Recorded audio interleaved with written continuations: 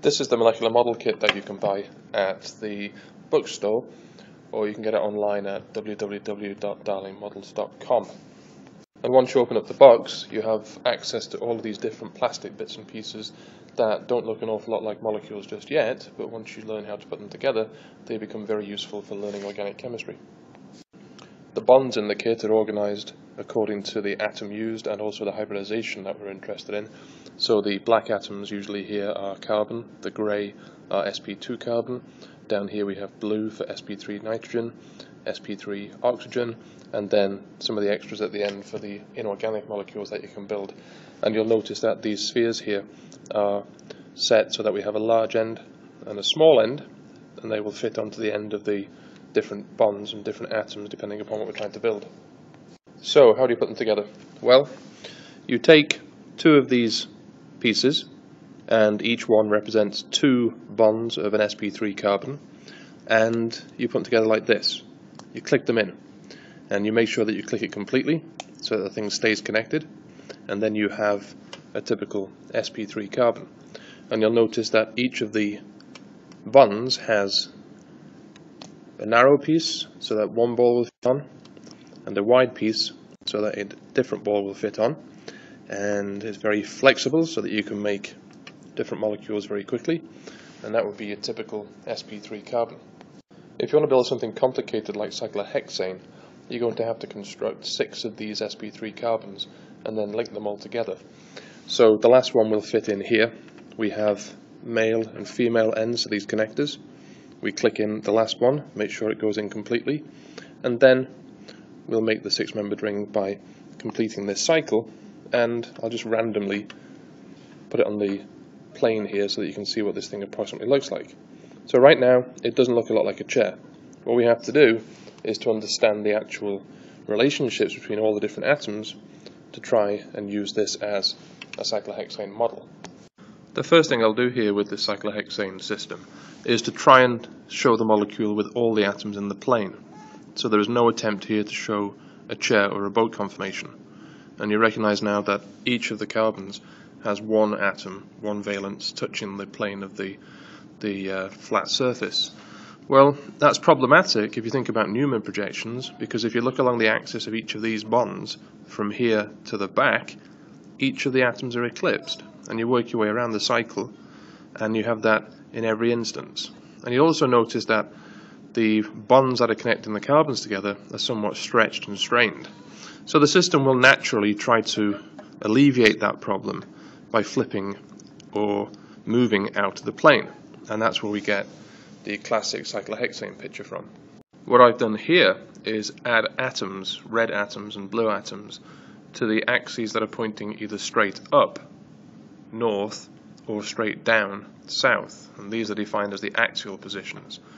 And if we've made this model correctly and we actually are sitting in a chair conformation, you'll see that three of these atoms touch the surface, and three of these atoms are pointing in the opposite direction above the plane of the molecule and described as the um, each of these as the axial position. If we then turn the molecule on its side, we should be able to see where the chair comes from. Over here is the head of the chair. There are four atoms in the plane here, and at the bottom down here we have the footrest, and that is the classic chair conformation.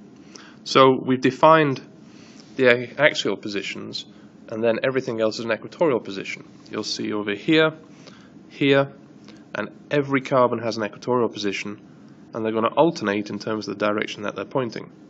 So you can see, for example, on the right-hand side, this atom is definitely pointing straight up north and is axial. And so the atom here has an extra, a second valence, which is now pointing away from the molecule, let's say away from the equator, and this is now pointing down compared to the rest of the system. If I turn the molecule around slightly, you'll see that it alternates as you move around the molecule. So if I line this up to show the atom behind, this blue atom is pointing down, definitely axial. If you want to think of it as ge geography, it's pointing absolutely south. And this atom here is pointing away from the system, so it's equatorial. And compared to this one, it's pointing up. It certainly isn't pointing straight up like this axial atom here, but relative to the overall molecule and the planet, if you'd like, this thing is pointing up. It's kind of pointing northeast.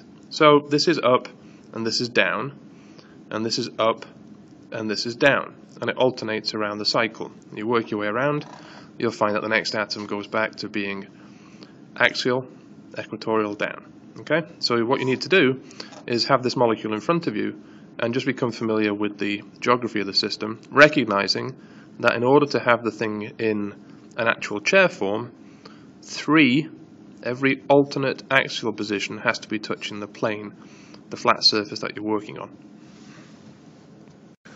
We realize very quickly that having large groups, anything larger than hydrogen, in an axial position is a problem.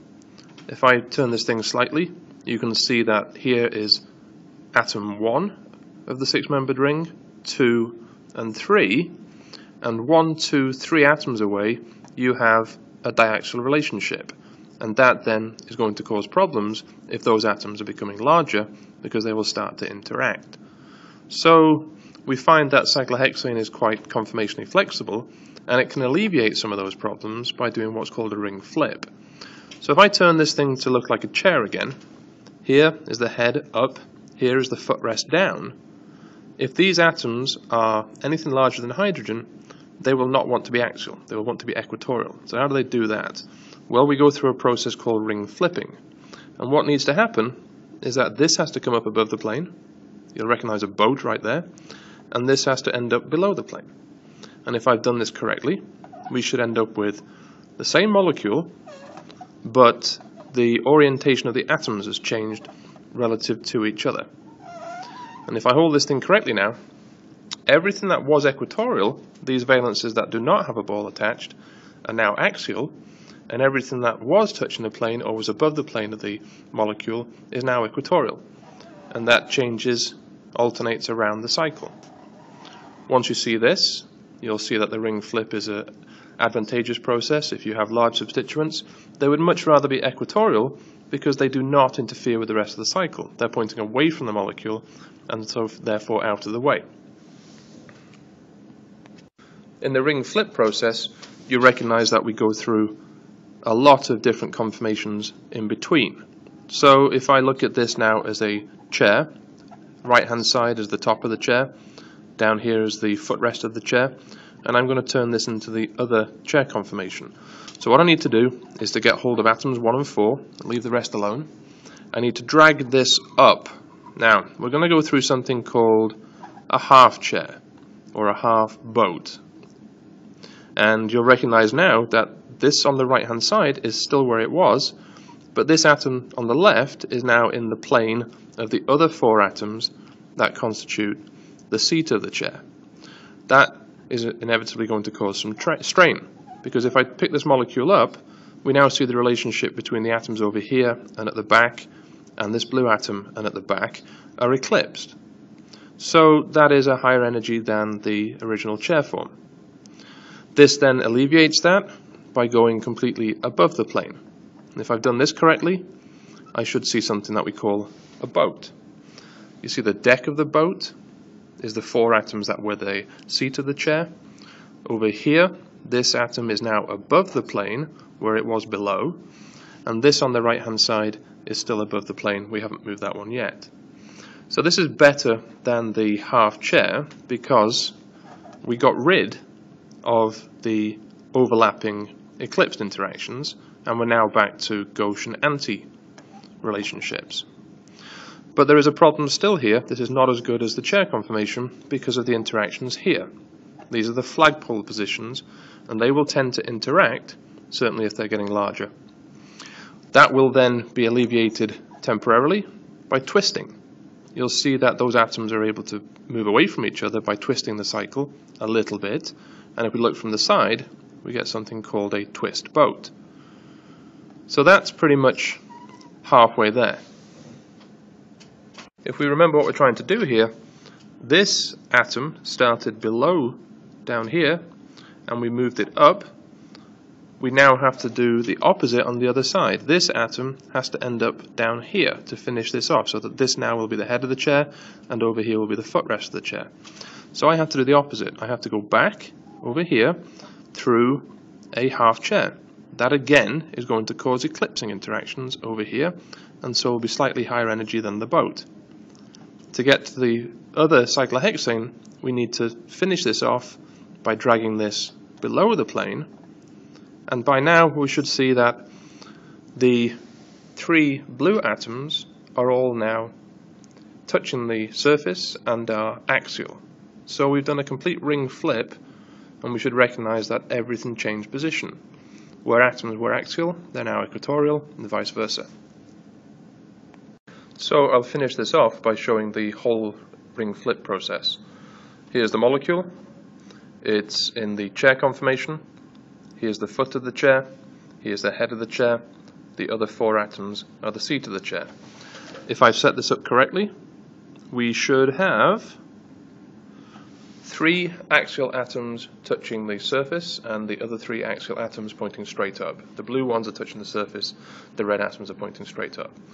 I'm going to get hold of the opposite atoms, let's call this 1, let's call this 4, and notice that this is up, this is down compared to the other four atoms, and to do the ring flip I need to drag this down, I need to drag this up, and notice what happens to the other atoms when I do that.